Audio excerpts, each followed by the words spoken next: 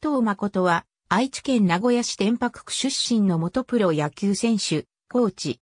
名古屋市立高坂小学校、名古屋市立久方中学校出身で、中日ドラゴンズファンだった。工藤公康は、小中学校の2年先輩にあたる。中京高校時代は控え投手兼任外野手として1982年の第54回選抜、第64回全国選手権、1983年の第65回全国選手権に出場。主戦投手の野中徹白との2枚看板、W エースと言われ、9位は野中が1番だが球速は紀藤が1番とも言われた。甲子園では3試合に野中をリリーフして登板。同期には鈴木敏夫もいた。その後1983年度ドラフト会議で、広島東洋カープから3位指名を受けて入団。プロ入り1年目の1984年から3年間は2軍生活が続き、1軍登板はなかった。1987年に初登板を果たす。この年は勝利投手にはなれなかったものの18試合に登板し、頭角を現す。1988年は中継ぎ中心ながら10試合で先発で投げ、4勝3敗、防御率3.66の成績を残した。1989年は中継ぎとしてリーグトップの61試合登板を果たした。この年は先発での登板はなかったが4勝1敗、7セーブ、防御率2.68と好成績を残した。1990年は前年より登板数が減り、36試合の登板にとどまったが、防御率2.58とこの年も安定感があった。1991年も36試合に登板し、安定感は欠いたが、セントラルリーグ優勝に貢献。しかし、西武ライオンズとの日本シリーズでは、第1戦、第6戦に登板したものの2回とも満塁弾を打たれノックアウト。1992年は21試合に登板。1993年も20試合の登板で、前年とそれほど変わらなかった。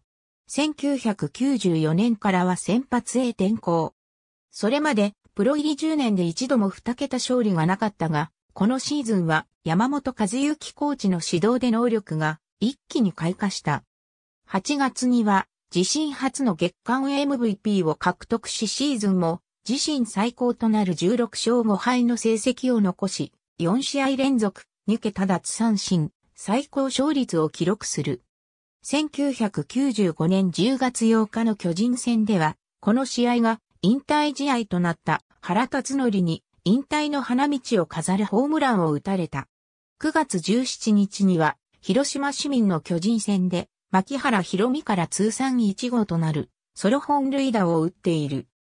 1996年は5月に2度目の月間 MVP を獲得し、前半戦首位の原動力となり、シーズンではチームトップの12勝を挙げ3年連続2桁勝利を挙げたが、後半戦8月末から閉幕まで6連続、先発失敗し、優勝を逃す要因になってしまった。この年以降は、衰えが顕著になる。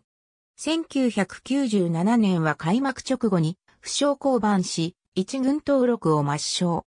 5月に復帰してシーズン初勝利を完封で飾ったが、この一勝だけに終わる。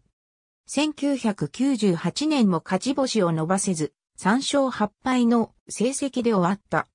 8月2日の広島市民球場の中日戦で、川上健信から通算2号となるソロ本塁打を打った。1999年は24試合のうち14試合に先発として登板したが、5勝6敗という成績で終わった。防御率は3点台後半だったが、2試合連続完封勝利をするなどとこれまでほどの不振ではなかった。2000年は先発で結果を残せず、抑えとして登板し、5セーブを上げたものの登板数を増やすまでには至らなかった。その年のシーズンオフに、鶴田康との交換トレードで子供の頃からファンだった地元の中日ドラゴンズへ移籍。2001年は21試合に登板したがすべて中継ぎだった。防御率は3.20と悪くはなかった。2002年は30試合のうち7試合に先発として登板。4勝4敗1セーブで防御率は2.85と安定感があった。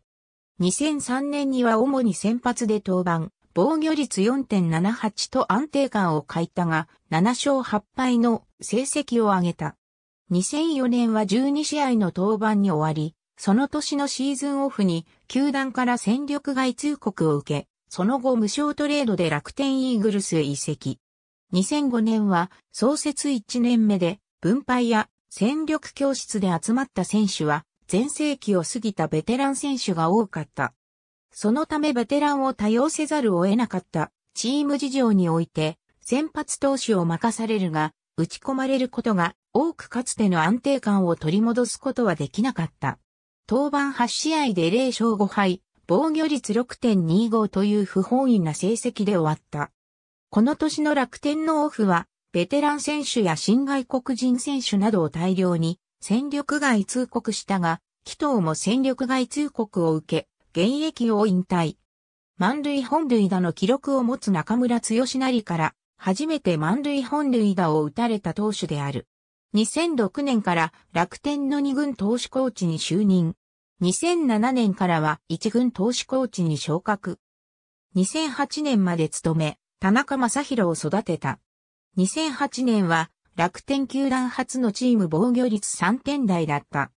2009年は水戸市にあるパーソナル電電株式会社の執行役員となり、市内の少年野球チームの監督を務めた。2010年高能ブルズの投手コーチを1年間務め、2011年から2013年まで統一セブンイレブンライオンズの投手コーチを務めた。2014年からは再び戦術の会社へ戻り、同時に野球教室、祈祷塾を開校。小学生から社会人まで幅広く指導。なお、同社には同じく楽天で1年間チームメイトだった一条康弘がいた。2015年1月30日には学生野球指導資格を回復させた。